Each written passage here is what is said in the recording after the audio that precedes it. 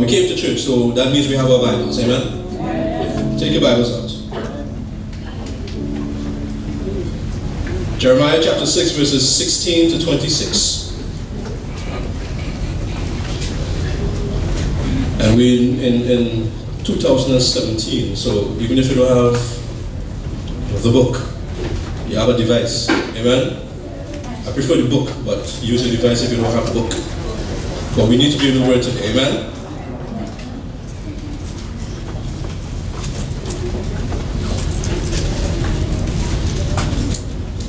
Remember verses from Jeremiah 6, 16 to 26? We'll read verses 16 and 17 together. And it reads, Thus saith the Lord, Stand ye in the ways and see, and ask for the old paths, where is the good way, and walk therein, and ye shall find rest for your souls. But they said, We will not walk therein. Also I set watchmen over you, hark, saying, Hearken to the sound of the trumpet. But they said, We will not hearken. The topic of the sermon today is the old paths, the good way. Let's bow our heads. Father, we thank you for your blessing, the blessing of life. And we thank you for bringing us into your house today.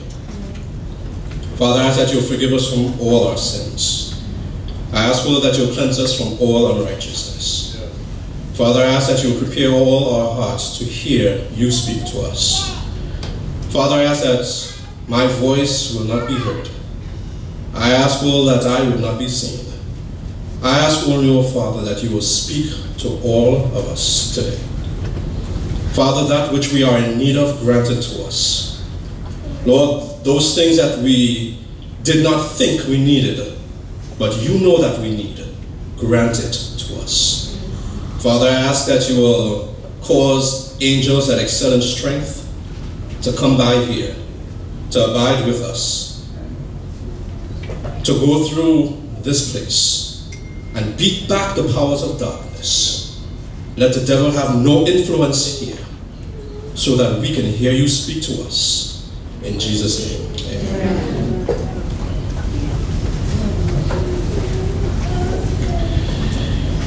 Israel had real problems. And you know, it seems like that's the, the prevailing history of Israel. Problems. And you know, they should have had problems. Now, let's start in Egypt. They were prosperous in Egypt. You know, after Joseph, remember Joseph? He was taken as a slave to Egypt, and then after the famine, you know, all his family came and they were in Egypt in Goshen, and they had a wonderful place there. But then what happened? There came a, a Pharaoh who did not know Joseph, didn't know the God of Joseph, and enslaved the, the, the people of God. Amen? Amen? Amen. I hope I ain't losing it yet. It's too early. The sermon just started. Alright? Stay with me. Amen? Amen? Now, so now God's people were slaves in Egypt. And they cried out to God, and what did God do? He sent a deliverer. Amen? Delivered them from Egypt. They left Egypt. Plagues came down on the Egyptians. God showed his mighty power. So they, they so even though they were in, in bondage for 400 years, now think about it. If you're in bondage for 400 years and you are alive at that time, you have no or little idea of who God really is. Because for 400 years, all you've known is slavery. Amen? Your parents would have taught you about God and they would have tried to keep the history, you know, in the family, amongst the people. But I've been a slave for 400 years. I don't know what it means. I don't know the definition of freedom. But now we're free. And they saw the power of God. They left Egypt. They were led by a pillar of cloud during the day, a pillar of fire during the night. They came to the Red Sea, can't go left, can't go right. The army is coming behind them, and God said, Move forward. Amen. Where God is only water, He said, Move forward. They stepped forward, and the, the sea parted. They saw the power of God. They went and they were in the wilderness near Sinai. They saw God, the power of God in the thunderings. Amen. Yet they rebelled. Even still, God didn't cast them away. They, they, they murmured against God. They want water. God give them water from a rock. Miracle after miracle. Yet they always have problems. They're always complaining. They're always rebelling against God. And that has been the history of Israel. Now there comes a time. Now, as a parent, you know you talk to your children. And for those who are not parents, listen carefully. You know, you talk to your children and you talk to your children. And you know, after a time when you talk and talk and talk, you have to stop talking. Amen? Um, most of us from the Caribbean, so you understand what I'm talking about. Amen? All right. After a time, if you can't hear, you don't feel. Amen? You know the Bible says, spare the rod and spoil the child? And you know there's another verse that said, if you beat him, he will not die? When I first saw that, I was amazed. I said, thank you, Lord. Amen? You can't arrest me. I said, the Bible said so. All right? But the fact is, God speaks to, spoke to the Israelites time and time again. And after a time, God had to say, listen, if you're not going to hear me, there are consequences. In fact, right at Sinai, God said, listen, do all these things and it will be well with you. If not, then there are curses that are associated with your disobedience. Now let's go to, to the, the, the scripture reading. Jeremiah chapter 6, verse 16. Now it's one thing for God to speak and you just ignore what he says. Amen? But what, look at what happened here with, these, with God's people. Thus said the Lord, stand ye in the ways and see, and ask for the old path where is the good way. Now, first of all, if God is saying to them, ask for the old paths wherein is the good way, does that mean that they're on that path? No. They're not. So somehow, some way, somewhere, they have veered off the path. Amen? Stand in your ways and see and ask for the old paths, where is the good way? Now, it would also appear that there are different paths. Amen? And David said in Psalm chapter 1, Blessed is the man that walketh not in the counsel of the ungodly, nor standeth in the way of sinners, nor sitteth in the seat of the scornful, but his delight is in the law of the Lord, and in his law doth he meditate day and night. Now, that's another path to be on. Walking in the counsel of the ungodly, standing in the way of sinners, sitting in the seat of the scornful. And it may well be that this is where, this is the path that God's people were on. Because, you know, God had given them judges to rule over. He was king, he gave them judges, and they ruled the people. But no, they didn't want that. They wanted a king. Give us a king. And God said, Well, you want a king? I'll give you a king. Give him Saul. Eventually Saul rebelled and they had and they had wicked kings and good kings and wicked and that was the history of God's people because they weren't satisfied with what God gave them. Not only were they satisfied with what God gave them, they didn't even weren't even satisfied worshiping him. Because they went and they took the gods of the heathen and were worshiping them as well. So God had to say, listen, stand ye in the ways and seek and ask for the old paths, where is the good way, and walk therein. If you do that, he said, you will find rest for your souls. So they were in a state of unrest. They did not have rest. And God said, This is what you need to do. And what is it they, they answered and said unto God? What did they say? We will not walk therein. Like I said, it's one thing for God to say, do this, and you just ignore Him. It's quite another for God to, to give an instruction, and you just, and you blatantly say to God, no God, I ain't doing that. I fear to say that to God. Verse 17 says, Also, I set watchmen over you, saying, Hearken to the sound of the trumpet. Now, whenever with Israel, with God's people, when the trumpet is sounded, usually it's because the enemy is approaching. You, you, the enemy is approaching, you know, you're living life, you're, you're planting, you're, you're, working, you're doing all these other things. You're living life as usual, which is okay. But when you hear the trumpet, stand up straight, look around, something is happening. And God said, I set watchmen over you. Why did God set watchmen over them? To keep them safe. Amen? To protect his people. Because God loves us. He loves his, his people. So he's not going to leave them in a, a state of, of, of being vulnerable to the enemy. He said, watchmen over them. And God said, hearken to the sound of the trumpet. But they said, we will not hearken. No, like I said, when you don't hear, after a time, you're going to feel.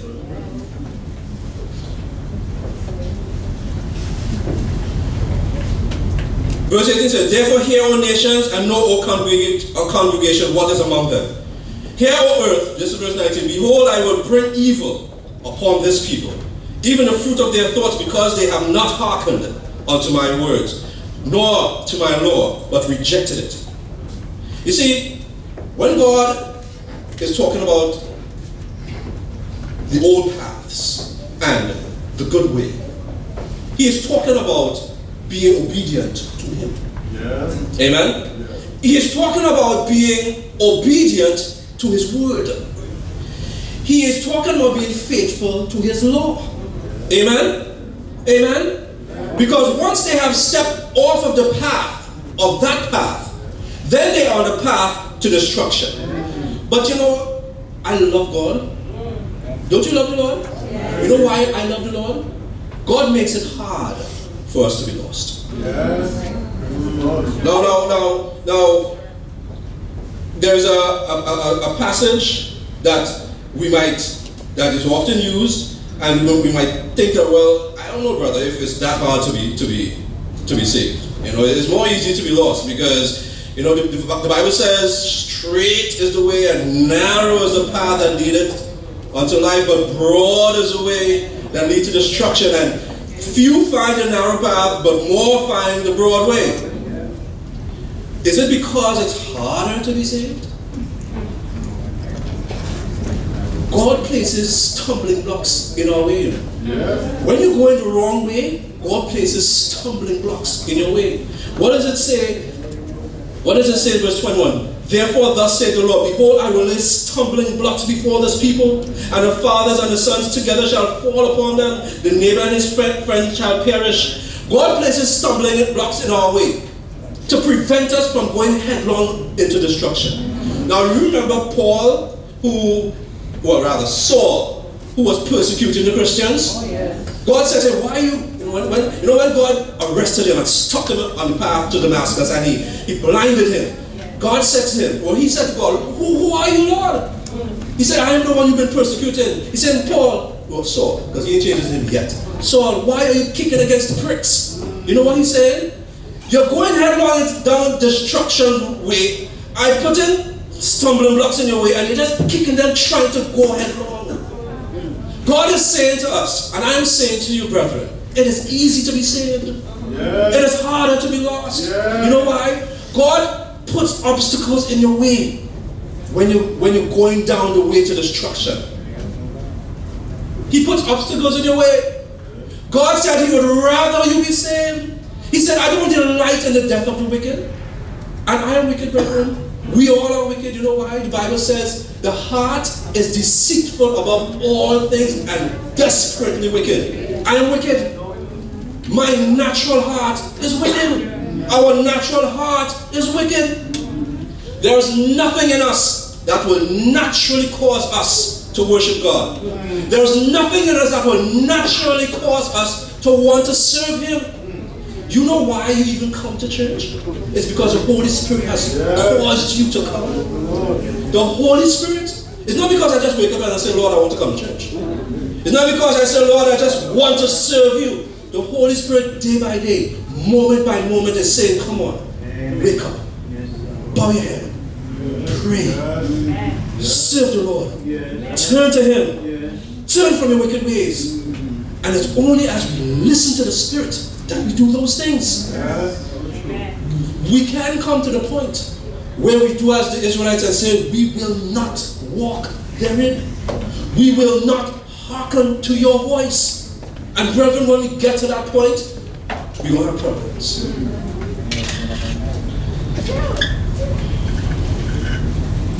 This is not going to be a long sermon. Because there's not much that have to be said. Amen? We need to hearken unto the Lord. Amen? Amen? What happened with the Israelites in this passage? This was a, a prophecy because they were going to go into bondage. They went into bondage, Babylonian bondage, because they would not hearken unto the Lord. Now, was the bondage because God didn't love them anymore?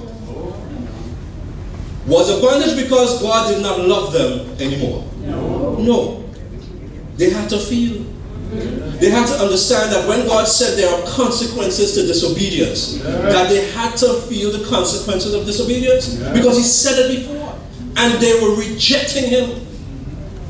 When they outrightly say, We will not, that is rejection of God. Mm. And brethren, continual rejection will cause us to commit the unpardonable sin. Now, you know what happens if with the unpardonable sin? That is when the Holy Spirit stops telling you, go to God. Mm. Now, think about it. Because my heart is wicked, naturally I don't want to go to God. So, the, and the only reason I go to God is because I'm responding to the Spirit. Yeah. Amen? We got that? Yeah. If the Spirit continues to speak to me and say, Go to God, and I say, No, I will not. Go to God, and I say, No, I will not. You know what happens after continually doing that? The, the voice of the Spirit becomes softer and softer and softer until they can't hear it anymore. And the only thing pushing me to Christ now is silent. So when He is silent, Will I go to God? No. It will not happen. And you know, that is why people will be lost. It's not because you've sinned so much and you've done all these bad things that, you know, all my sins cause me to sin, cause me to die and perish. It's not because of these sins per se. It is because you refuse, we refuse to respond to the Holy Spirit. Mm. Because the Holy Spirit is the one who tells us to confess our sins to God. Yes. So it's not the sins per se, but the fact that we are not responding to the Spirit who is telling us to confess. We're not responding to the Spirit who is saying, Come. We're not responding to the Holy Spirit who is saying, Leave this world behind. Mm-hmm. Now, let me ask you a question. What's, what's the point and purpose of walking therein? What do the Israelites refuse to do? Why should we walk in therein? Now, recently we've been having a lot of disasters, mm. natural disasters. All right, we had what two Category Five hurricanes within a month, mm-hmm. within well within weeks of each other, within two weeks. All right, and and uh, didn't they say that there? You said three. And didn't they say that this is uh, historic? These are historic storms because it hasn't been like this before? In how many years? In a hundred years, okay. Category five. Two of them are category five. Right. A couple of days ago, earthquake in Mexico, where I was, I was they said um, 155 buildings collapsed. 123 buildings are partially collapsed. And there was a school that collapsed with oh, about 30 children died. Now, brethren, these things are happening more and more. More and more. And Spirit of Prophecy tells us, tells us that these destructions are God calling us and telling us, people, get ready. I am coming soon. Jesus is saying, I am coming soon. She calls them judgments in the land. I don't know why one of the countries, Barbuda, almost it was almost 90% destroyed, completely destroyed. I don't know how many people, how many thousands of people lost their homes. And brethren, when now the thing is when 9-11 happened, it shook us. Amen. When Sandy happened in New York, it shook us. Amen. But right now, think about it. Do you feel shaken by those things anymore? No. You know why? Because we forget. We forget. When we are in danger and in trouble and in these troublous situations, after a time, we forget. But God is saying to us, don't forget. Don't forget the times that we are living in. We must educate ourselves to be thinking and dwelling upon the great scenes of judgment just before us. And then, as we keep the scenes of the great day of God before us, when everything shall be revealed, it will have an effect on our, on our character. Now, I think this is a, an account that Sister White, that happened with Sister White and a, and a young fellow. It says, One brother said to me, Sister White, do you think the Lord will come in 10 years? What difference does it make whether he'll come in two, four or ten years. That's what she said to him. Why, said he, I, I think I would do differently in some things than I now do if I knew the Lord would come in ten years. Then she said, What would you do? Why, said he, I, would sell my property, begin to search the Word of God, and, and try to warn the people and get them to prepare for His coming. And I would plead with God that I might be ready to meet Him.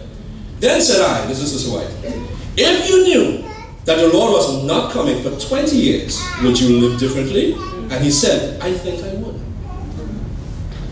In other words, if the Lord was coming in 10 years, he would sell his property, search the scriptures, and get ready. But if the Lord was coming in 20 years, he wouldn't do that. He would just continue living life as usual until he knew the Lord was coming soon. And my, my question to you, brethren, is how are you living? Hmm, question. How are you living? How am I living? Hmm. Are we living thinking that the Lord is going to come in 20, 30, 40 years? Are we living thinking that the Lord is going to come in the lifetime of our children or grandchildren or great grandchildren? Or are we living as if the Lord could come tomorrow, today? The fact is, brethren, how many of the people who died in these um, hurricanes or earthquakes knew they were going to die. How many people, how many people know when they're going to die? Some do, but many don't. Most of us don't know when we're going to die. And the fact is, brethren, unlike what some religions would say, nobody can pray for you while you're in the grave. Well, yeah, well, let me take that now. You can pray for them, but it's of no effect. It's not going to help. You can't ask God to forgive the man who was dead. Forgiveness, brethren, only is for the living. I cannot ask God to forgive you, and if you just live in your life not responding to the Spirit, what's going to happen? You're going to not be forgiven. I must ask God for myself. You must ask God for yourself. I can ask God that you will respond to Him. But, brethren, each of us must individually respond. And it can only happen while we are alive. What is uh, uh, Proverbs 9? The living know that they shall die, but the dead know not anything. They don't know anything. They can't pray to God. They can't come back and haunt you, brethren. They can't go back to their homes. They can't worship God. The Bible says so. It is only for us, brethren. We must ask God for forgiveness now because tomorrow is not promised. You know what the Bible says? James said that life is a vapor. You know what a vapor is? It's, it's, it's like a mist. How many of us can hold on to a vapor and put it in our pocket? Can't do it. It's a mist. It's, it's transient. You can't even hold on to it. And God said that is what life is. Life is fragile. We can't keep life. when life is going from us? How many of us can stop death when it comes knocking? We wish we could, but we cannot. Amen?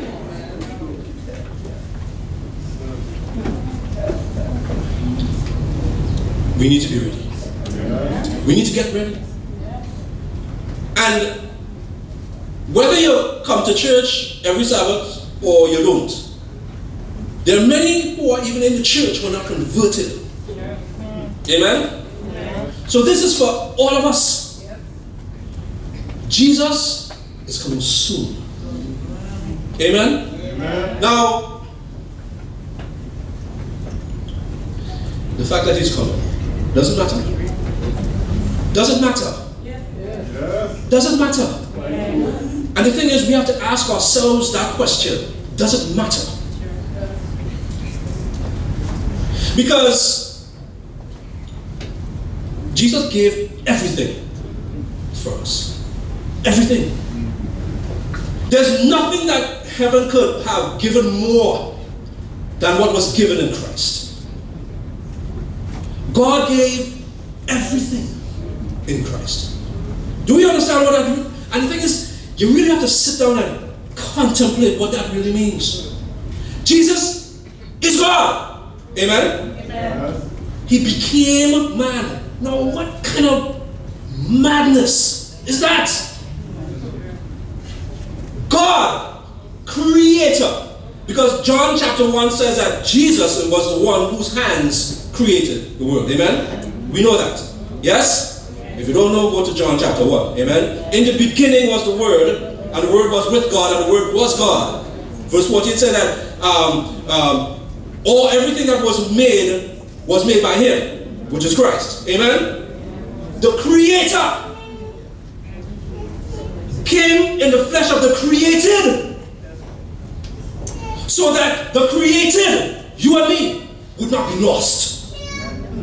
He gave up divinity to become humanity so we can be saved and not be lost. All that belonged to him, he gave up so we could have it. And he took upon himself what we deserved, which was death. And we need to come to understand all that Christ did for us. The fact that he did that, brethren, means he loves us with an everlasting love. Amen. He loves us with a love that we cannot comprehend. He loves us with a love, brethren, that we can never repay for him for. And you know what he says? You know what all he asks? Just come to me. Leave this world. Leave the things of this world. And come to me. And we, we, we act like the Israelites and we refuse. We want the idols. We want the, the things of the world. We want all these things because we we just foolish. That's the only way to say it. And I say it kindly. we are foolish. You know why? What is it that we give up when we come to Christ? Tell me, what do we give up? What do we give up when we come to Christ? There is nothing in this world. There is nothing in this world that is more valuable than Christ. Amen. Now the thing is, you know, sometimes you go to church for so many years that it just becomes a thing that we do. Amen it becomes cold formalism. But brethren, we need life again. Amen. Amen. We need life again. We need the Holy Spirit in our hearts again. And if He's never been there, we need an introduction to the Holy Spirit. Amen? You know why? Because let's go to go back to the scripture reading Verse 16. Thus saith the Lord, stand in the ways and see and ask for the old path, where is a good way, and walk therein, and what will happen? You shall find rest for your souls. Brethren, I work hard. How many of us work hard you know, on your job? Listen, we live in, live in New York. You live in, New, you work hard. Amen? Some people work day shift, night shift, both shift. We work hard.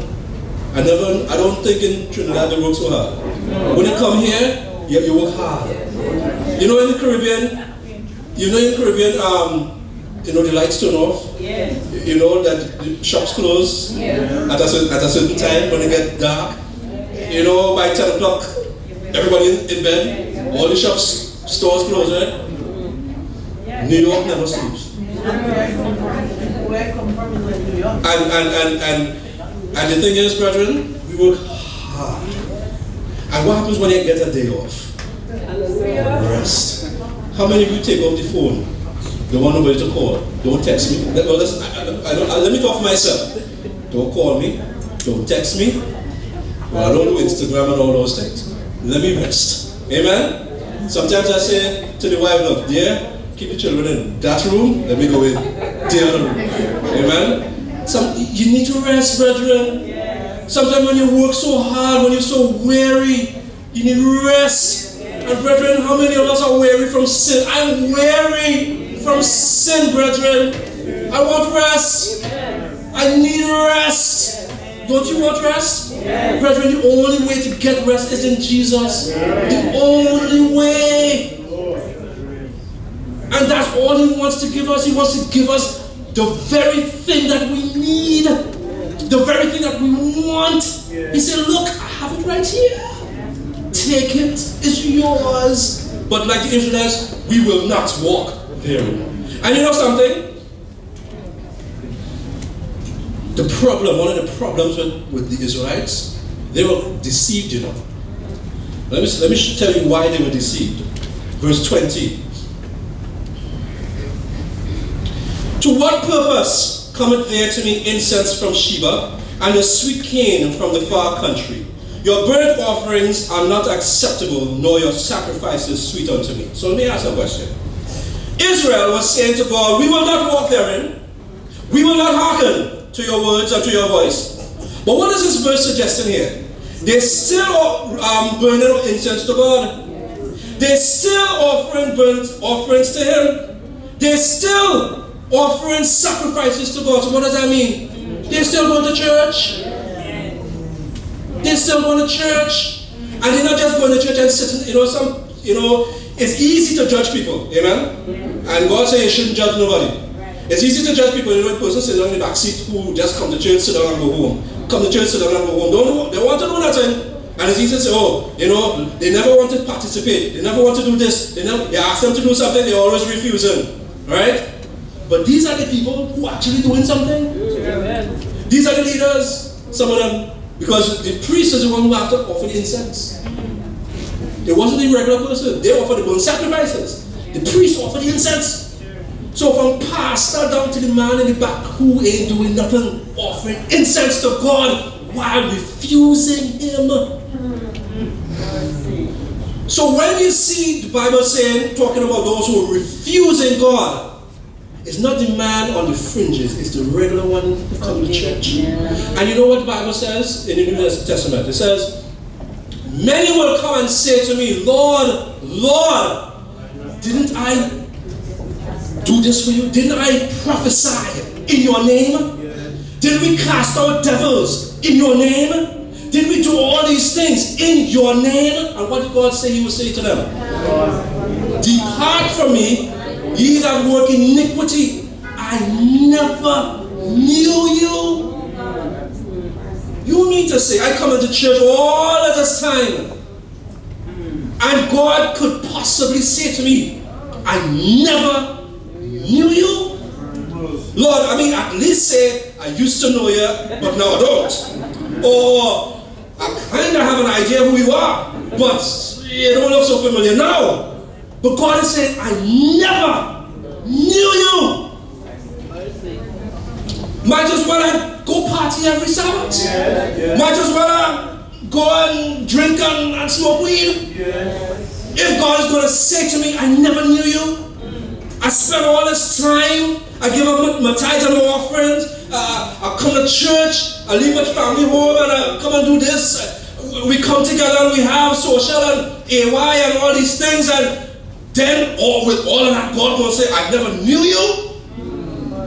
Brethren, it's not about coming to church. It's not about all the things that we do in church. Because sometimes some people do these things for sure. Or because they think it will bring them into the kingdom. Nothing you do, brethren, will cause you to be saved. Nothing you specifically do. Preaching not going to save preacher. No. Singing is not going to save the sinner, the singer. No. Playing piano not going to save the pianist. Brethren, the only thing that's going to save us is Christ. Amen. That's the only thing. Amen. But brethren, guess what? When you're saved, when you understand all that He's done for you, yes. you know what happens? Yes. When you understand, something happens in your brain. It's like, Lord, what kind of transaction is that? That that that wonderful, majestic transaction where you took my place and now you've given me the opportunity to take yours. You know, because Christ said He wants us to sit on His throne. Amen. Brethren, that's supposed to excite you. Amen. Jesus is saying, I want you to sit on my throne just like I sit on my Father's throne. He's saying, You're no longer strangers to me, but, but heirs.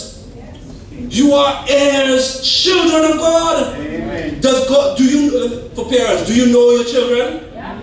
Do you know your children? Of course you know your children. Do you know your family? Yes, you know your family. So if God is saying to the man, I never knew you, it means you're not family, you are stranger. Brethren, I don't know about you. I don't want to be a stranger to God. Amen. I want to be a child of the King. Amen. That's what I want. And God is saying it is possible. It is possible. But brethren, many of us are weak. Many of us, instead of being overcomers, we have been overcome. Instead of being strong, we are weak. The humblest and weakest, by persevering effort in resisting temptation and seeking wisdom from above, may reach heights that now seem impossible.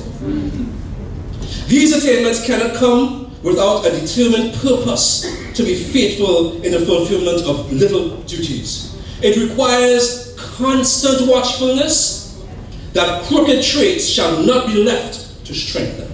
Sometimes, brethren, we're lazy and we are lackadaisical when it comes to our lives and our characters. I just say it clean. Yes. The Lord said He wants a people who are without spot or wrinkle or any such thing. God says you need to be holy just as I am holy. No. I have to be as holy as God. That's what God says. I want you to be as holy as I am. And we think it's impossible, brethren. A lot of preachers preach and say it's impossible. The Bible is saying it is possible. Amen.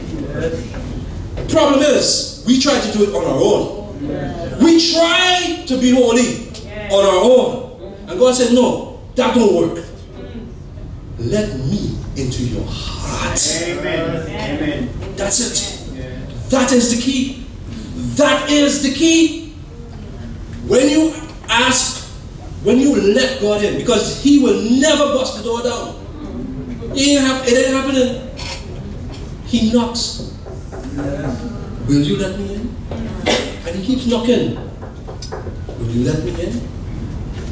Will you let me in? Because the Lord said, My strength is made perfect in weakness. You think you're weak? Are. By yourself. But with Christ within, there is nothing that can overcome you. Amen. Everything is possible with Christ. Everything. The Bible says that with Him all things are possible, including living the life of an overcomer. Yes. It is possible. Everything is possible. But, brethren, it requires one thing from you let him in. Amen. Amen. Amen. You let him in. And don't resist him. Don't resist him as he works in your life. Walk the path that he's laid before you. The Bible says, Thy word is a lamp unto my feet and a light unto my path. You need the word to keep the path lit. Amen? Amen. Amen. Let us keep on the path. Amen. There's a song. Of course, the judgment is set. The books have been opened.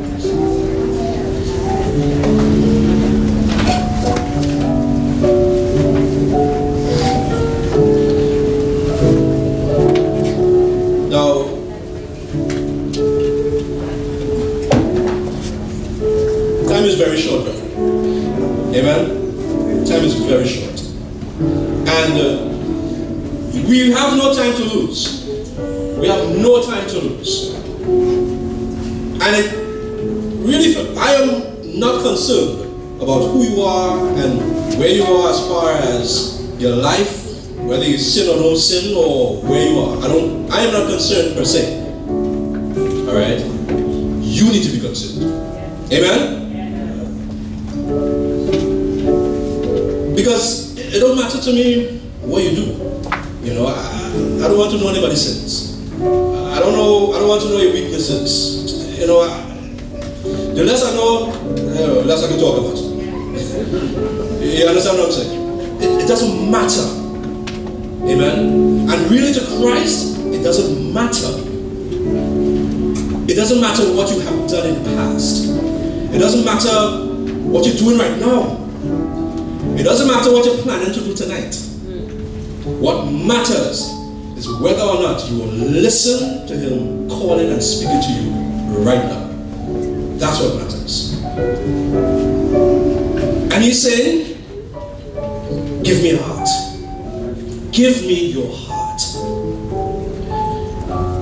Some of us here that the Lord wants to do things beyond your imagination. I don't know who you are. I don't know who you are or what God really has in store for you, but I know He has that in store for somebody in here.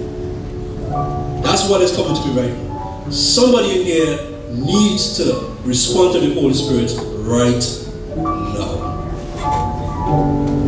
And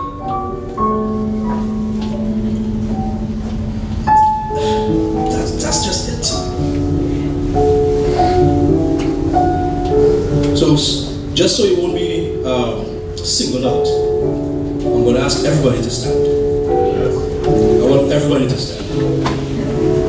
I'm going to be presumptuous and say that all of us want to be saved. Amen? Amen? Honestly, does anybody want to be lost? I mean, the fact that we're here today means that there's something in us that responded to the Holy Spirit to come to church because they want to hear something from the Lord. Amen?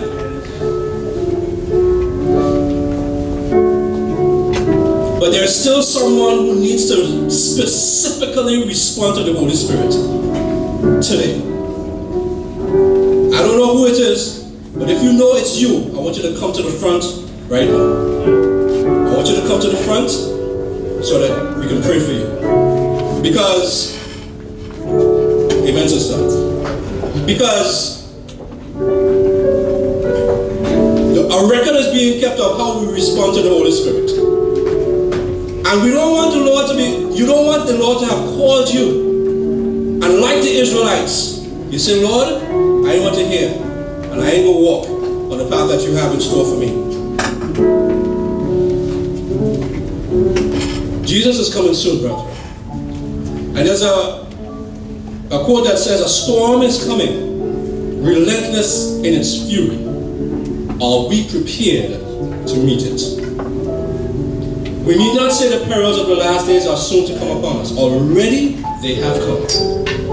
We need now the sword of the Lord to cut to the very soul and marrow of fleshly lusts, appetites, and passions. Brethren, we need the Lord in our lives right now. Amen. We need to let go of self and let God have control of our hearts. Amen.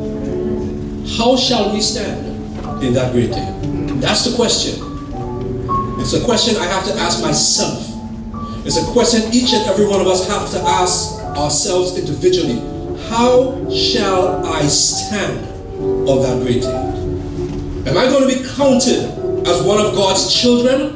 Or am I going to be counted as a stranger? And that's a very real question, brethren. It's a very real question, and it will be a reality to each and every one of us one day. And we don't know that today is promised, the rest of this day is promised. We don't know that tomorrow is promised. And there is going to come a time when God is going to say, He that is holy, let him be holy still. He that is righteous, let him be righteous still. He that is filthy, let him be filthy still. And brethren, that day happens either when you die or when the door of probation closes. We can't play around. Amen? Amen? Amen? We can't play around. Because the devil ain't playing around with us. I guarantee you that.